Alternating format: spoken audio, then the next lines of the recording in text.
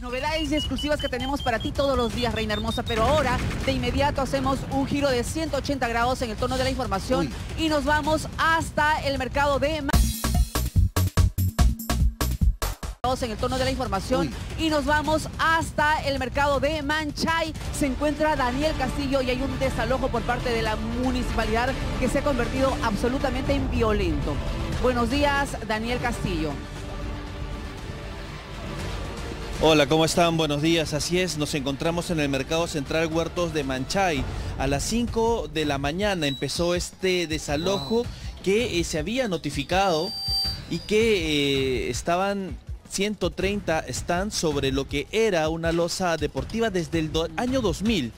24 años eh, estaban sobre este terreno de 1900 metros cuadrados. La municipalidad les indicó que ya debían retirarse, pero todo terminó de manera violenta. Piedras, palos lanzados volaban por los aires, impactaron tanto en algunos de los comerciantes como en agentes municipales.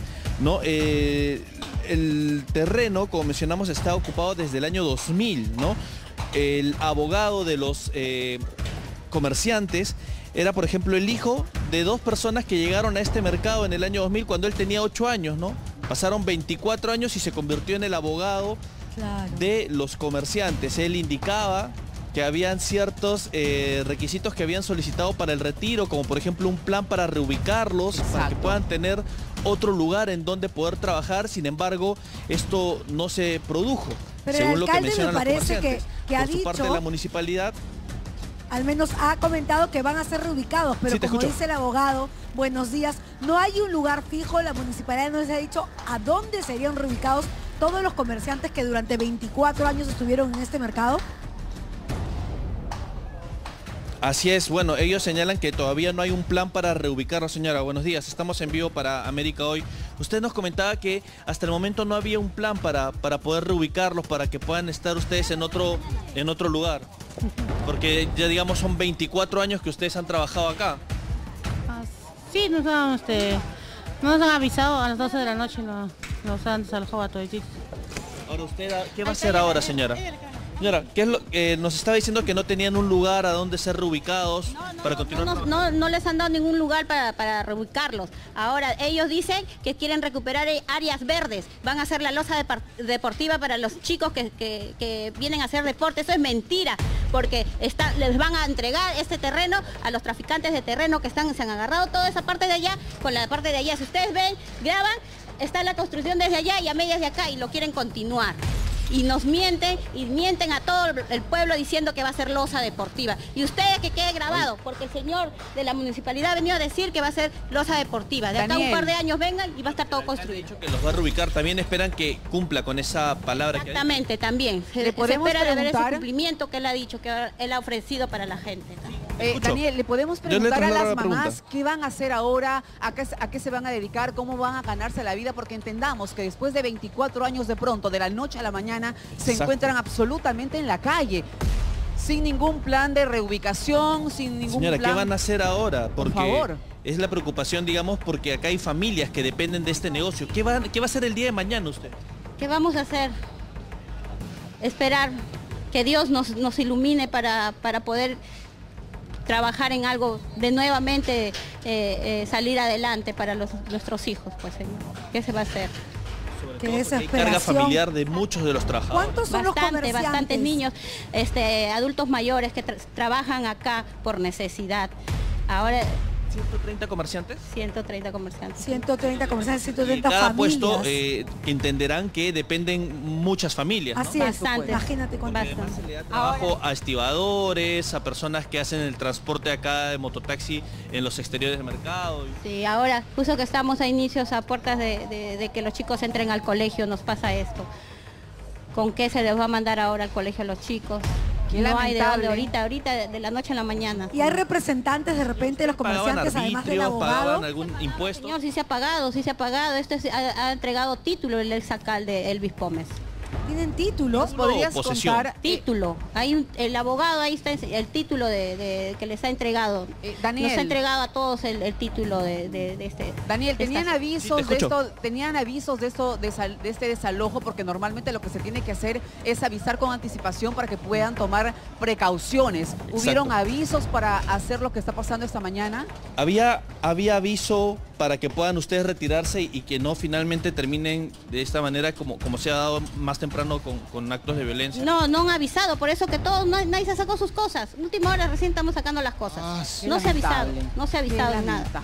Toda última hora, como usted ve, están sacando todo eh, este materiales. ¿A qué hora empezó, Daniel, o la señora, por favor? insumos, todo se está sacando recién. ¿A qué hora empezó el desalojo?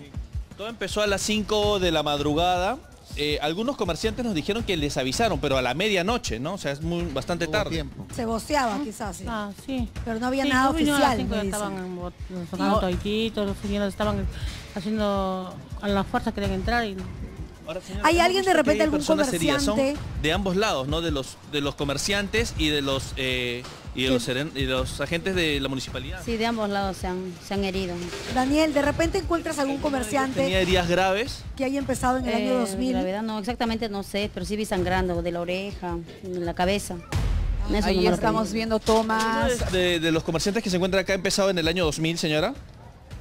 ¿Ustedes este mercado se llama 2000, mercado 2000. Desde el 2000 se ha empezado. ¿Usted también empezó desde el año No, yo ya más, más adelante, pero han empezado antes ellos. vamos a buscar de repente alguna de las personas mayores. acá hay un señor. Señor, buenos días. este mercado, digamos, tiene 24 años acá en la zona de Huertos de Manchay. ¿Cuántos años tiene? Yo tengo 38 años acá. ¿38 años? Sí, escucha. Este es Losa Deportivo de, de nosotros la población de la central, Manchay. Y entonces, ¿qué pasa con el alcalde Elvis Pomis? Lo do a un tiempo nomás para que ellos puedan estar alojados ahí, para que ellos busquen, se reubiquen, busquen su sitio. Pero la gente lamentablemente no comprenden, dice que ellos van a ser dueños, porque esta es una losa deportivo. Usted es vecino de acá de la zona, no es comercial. Vecino de acá. Yo soy socio del sector central. Acá tenemos la otra versión, digamos, está del lado de que se recupere esta zona. Exclusivamente, porque verdaderamente nosotros tenemos niños para poder jugar. Pero pasaron 24 años. Con juegos de niños y teníamos todo arco, todo completo, tenía acá, pero ahorita no hay nada, ni un juego de niños, no hay nada, todo lo han desarmado. Entendemos, bueno, acá está, digamos, el otro lado, ¿no? Los vecinos que, por ejemplo, querían que esto sea una, una, zona de recreación para los niños, que había losa, que había arco, pero vamos a ver si encontramos a alguien que haya tenido todos estos, lo que llama la atención, acá como comerciante. Lo que llama la atención es que no haya un lugar de reubicación. Ustedes pueden ver las imágenes. es preocupante. Personas mayores. Eh, con todas en este lugar desde que inició el mercado. Así es, caballero. Desde el 2000 entramos a trabajar. ¿Usted entró en el año 2000? Sí, 2000, caballeros. Muchos, Cuando usted llegó, señora, ¿qué había acá? Mira, mira, le voy a decir la verdad.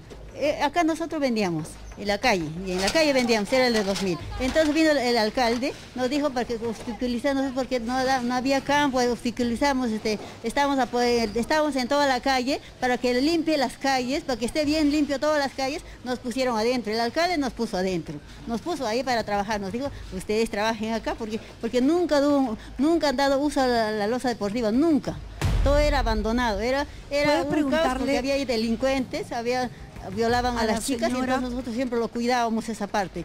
Mucho tiempo es abandonado, nunca tuvo, si le dieron algún